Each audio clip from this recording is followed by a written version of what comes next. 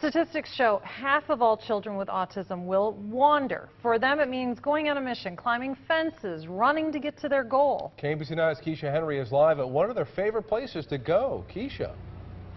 Lynn, for children with autism, this is absolutely beautiful. The way the sun or the moonlight shines off of the water is sparkly and it's shiny. But unfortunately, this is also the unfortunate reason that statistics show 91% of deaths of children with autism are caused by drowning.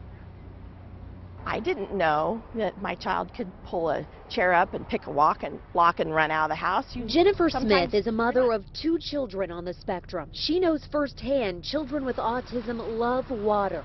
When they get in the water, it's like a big hug and it wraps around them and it can relax them and, and help with some of those sensory issues that they might have.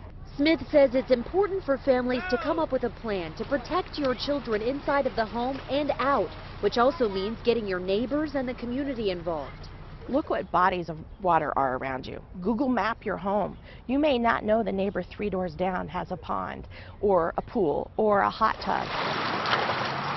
If you go to a pool, she also recommends notifying the lifeguards. And better yet, teach your kids how to swim. We'll bring our hands out of the water. And survive if they ever fall in.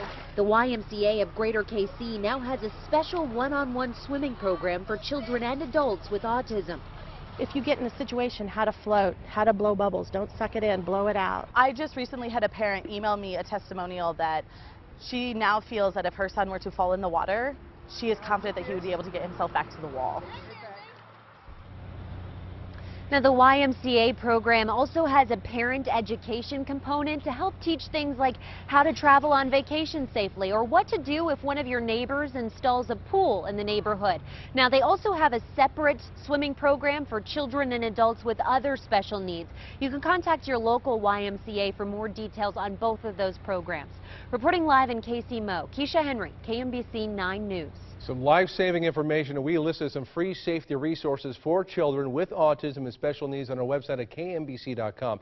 That includes a plan to bring your loved ones back home safe if they ever wander.